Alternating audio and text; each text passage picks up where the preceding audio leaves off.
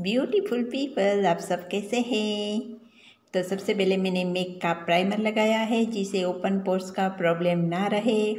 Next मैंने लिया है मॉइस्चराइज़र जो कि मेरी स्किन को बहुत सूटेबल है। उसे सेट करने के लिए एक मिनट छोड़ा। नेक्स्ट मैंने मेक का फाउंडेशन लिया है, जो कि पंप के साथ आता है, और इस तरीके से डॉट डॉट के रूप में अपने फेस के ऊपर लगाना है। नेक के ऊपर भी आप इसे लगाना न भूलें। नेक्स्ट मैंने ब्यूटी ब्लेंडर को इस तरीके से पानी के अंदर डीप करके फिर ही यूज़ किया है ताकि वो हमारा फाउंडेशन है, वो ग्रेप ना कर ले फ्रेंड्स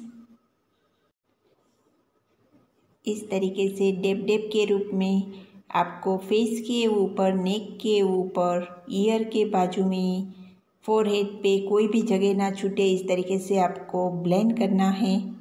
नेक्स्ट मैंने लिया है एले गर्ल का कंसीलर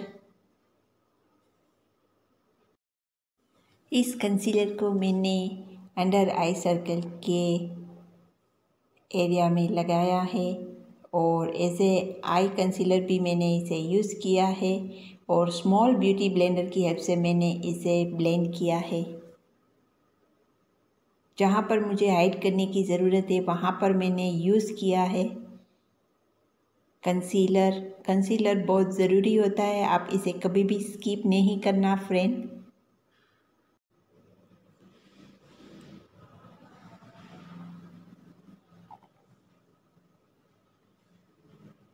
नेक्स्ट मैंने लिया है फिटमी का लूज़ पाउडर जो कि मेरा नया नया शौक़ है। मुझे ये फिटमी बहुत ज़्यादा पसंद आ गया है, इसलिए मैं इसे अपनी लाइफ में बहुत अहम जगह दे दी और मैं इसे डेली यूज़ करने लगी। मुझे बहुत पसंद आ गया है ये। इसे भी सेट करने के लिए दो मिनट छोड़ना है और मैंने अपनी ब्रो को फिल किया। पेंसिल की हेल्प से जो गेप होता है, इसे फिल करना है और स्पूली की हेल्प से प्रोडक्ट को अच्छे से डिस्ट्रीब्यूट कर देना है।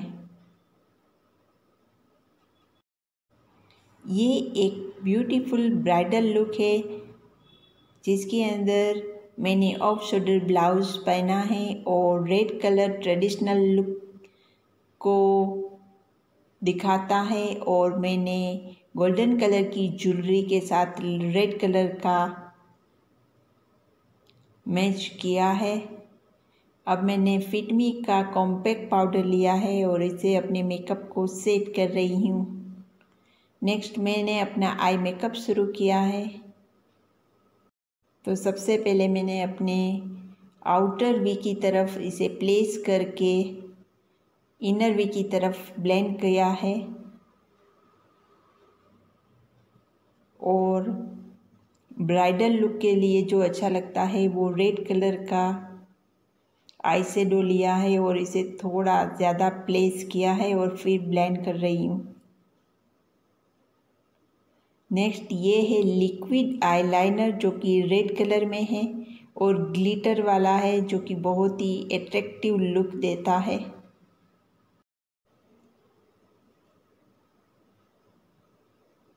नेक्स्ट मैंने काजल लिया है। अगर ट्रेडिशनल लुक है या बहुत ग्लेम लुक करना है तो काजल बहुत ज़रूरी होता है। फिर मैं इसे इनर कॉर्नर कर रही हूँ। और जो काजल लगाया है, उसके क्लोज क्लोज मैंने रेड कलर थोड़ा लगाया। कॉन्टोरिंग कर रही हूँ अभी। कॉन्टोरिंग करने से हमारा फेस है, वो थोड़ा स्लिम दिखता है।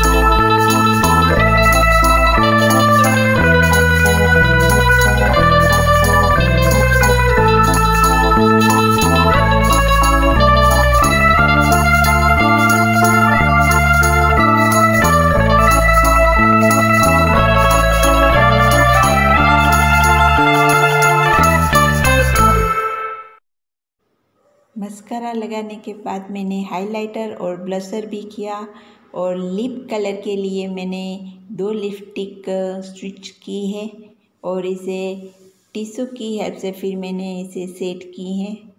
तो ये बहुत ही ब्यूटीफुल सा रेड कलर है।